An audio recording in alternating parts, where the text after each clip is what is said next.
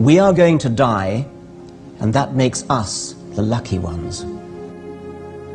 Most people are never going to die because they're never going to be born. The potential people who could have been here in my place, but who will in fact never see the light of day, outnumber the sand grains of Sahara.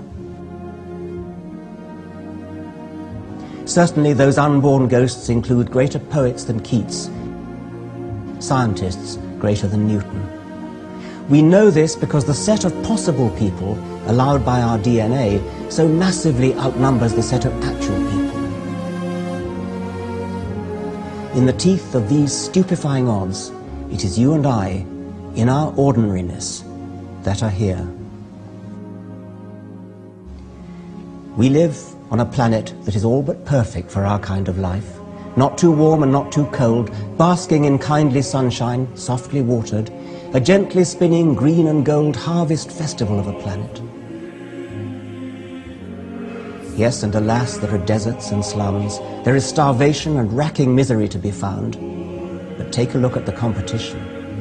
Compared with most planets, this is paradise, and parts of Earth are still paradise by any standards. What are the odds that a planet picked at random will have these complaisant properties? Even the most optimistic calculation will put it at less than one in a million. Imagine a spaceship full of sleeping explorers, deep frozen would-be colonists of some distant world. Perhaps the ship is on a forlorn mission to save the species before an unstoppable comet, like the one that killed the dinosaurs, hits the home planet. The voyagers go into the deep freeze, soberly reckoning the odds against their spaceships ever chancing upon a planet friendly to life. If one in a million planets is suitable at best, and it takes centuries to travel from each star to the next, the spaceship is pathetically unlikely to find a tolerable, let alone safe haven for its sleeping cargo. But imagine that the ship's robot pilot turns out to be unthinkably lucky. After millions of years, the ship does find a planet capable of sustaining life. A planet of equable temperature, bathed in warm starshine, refreshed by oxygen and water.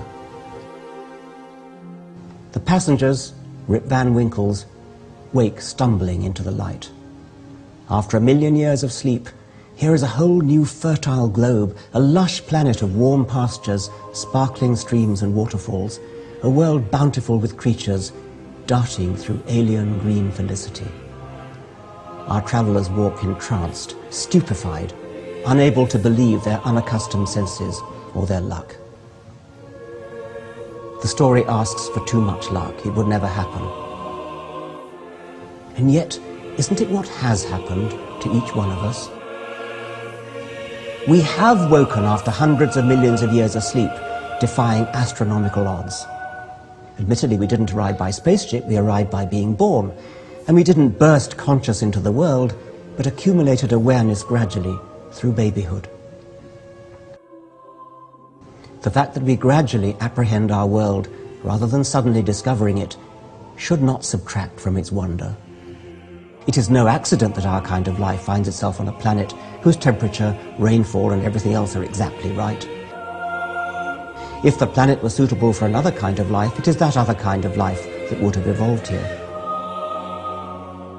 But we, as individuals, are still hugely blessed, privileged, and not just privileged to enjoy our planet. More, we are granted the opportunity to understand why our eyes are open and why they see what they do in the short time before they close forever.